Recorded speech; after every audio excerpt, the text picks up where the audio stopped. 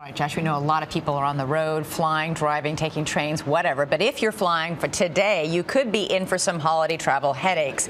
But there is a new airplane that could make your next flight a lot smoother. The Boeing 787 offers better air and even mood lighting on flights.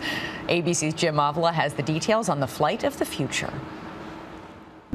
The swoop winged plastic composite plane that is changing aviation has finally reached domestic routes this holiday season. This is really a generational uh, progress in, in aviation. The Boeing 787 Dreamliner is a hot seller. Its carbon fiber, rather than metal fuselage, gives it lighter weight, allowing it to fly farther on less fuel.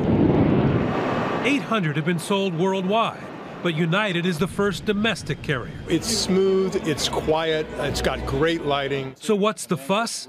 Good Morning America visited the Boeing assembly plant outside Seattle. So you see the landing gear now? Took the controls in a flight simulator in Houston where United pilots trained to fly the 787. Perfect, hold it right there.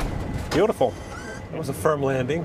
It was good. Correct runway in the right city, so we're good. joined a test flight over the Midwest to see for ourselves. The airlines are buying these because they're cheaper to fly, more efficient, but they're going to sell you on creature comforts like the air itself. There's more oxygen on this plane, it's cleaner and less dry, and they have these huge storage bins too. You can fit four suitcases in here. The plastic body is stronger than metal, so the air pressure inside can be kept at the equivalent of 6,000 feet instead of the 8 or 9,000 in most jets. That translates to higher humidity in the cabin, more comfort, less jet lag, and dry skin. The windows are larger, can be dimmed at the touch of a finger.